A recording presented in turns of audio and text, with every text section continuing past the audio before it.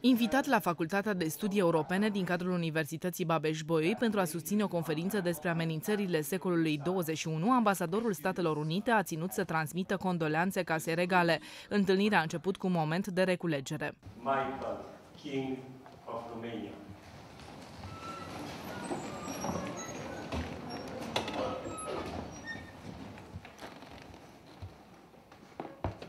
express my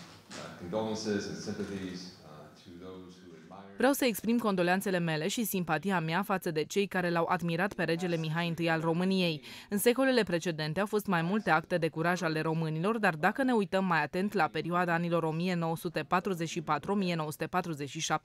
cred că ar fi fost greu să identific un alt român care a fost mai curajos, mai determinat și mai patriot decât regele Mihai. Courageous, more determined, uh, more patriotic uh, than uh, King Michael. În cadrul întâlnirii, Hans Klem a explicat interesul Statelor Unite ale Americii pentru păstrarea unei justiții independente.